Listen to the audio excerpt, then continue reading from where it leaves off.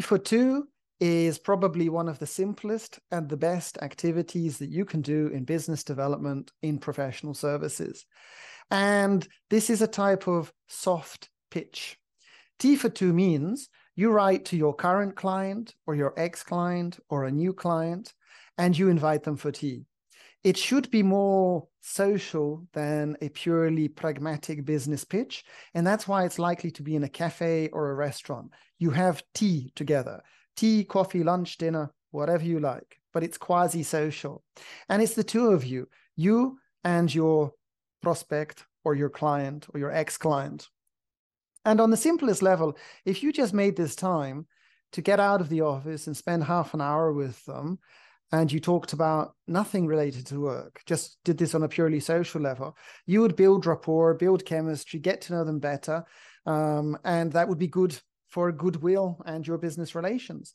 But of course, if you then began to do a little bit of soft sell, if you throw in there some open leading questions, some war stories, if you talk about some of the projects that are happening, you you investigate and ask open questions to see about current needs, then you can increase the conversion uh, from this Tea for two to actually generate some mandates. I think the first step is to simply make this into a habit, to make it happen. Very often I ask partners or lawyers how often they do Tea for two, and the answer is never.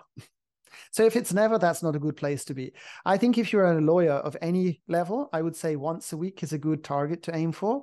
If you're a partner, I'd be suggesting probably once per day would be a good level to aim for. And I'm sure that if you did actually do these meetings, uh, these Tea for two once a day, that would be 20 per month. Inevitably, some of them would generate new mandates for you and therefore money.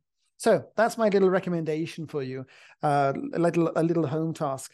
Invite somebody for tea. You know, you can do it just now. Go into your Outlook, think of a current or an ex or a new new client, and pitch them. Suggest having tea. If you have a value proposition to offer and to discuss, your chances will increase. I've written an entire book about this. I call it tea marketing. It gets more sophisticated. You do have tea for two, tea for three, different types of tea for three.